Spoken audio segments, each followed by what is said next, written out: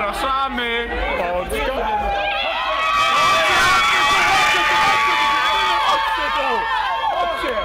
I woło!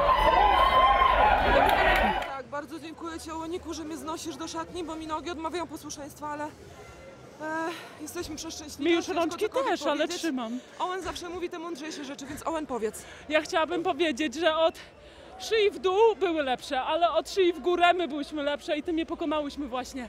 Dziękujemy. To co było w obronie prawdziwa wojna. Tego się inaczej nie da określić. To jest tylko wojna, już do końca będzie tylko wojna i naprawdę jak ktoś odstawi nogę, to przegra.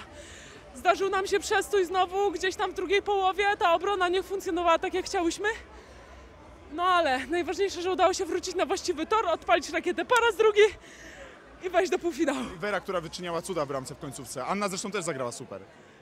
Tak, myślę, że naprawdę bardzo nam pomogły w tych dwóch ostatnich spotkaniach i, i tak naprawdę na tym polega drużyna, że każda zawodniczka, która wchodzi na boisko jest w stanie pociągnąć ten mecz i w momencie, kiedy wchodzi ktoś z ławki, to nie widać różnicy tak naprawdę i na samym początku meczu myślę, że nasze bramkarki mocno e, wybiły z rytmu drużynę rosyjską.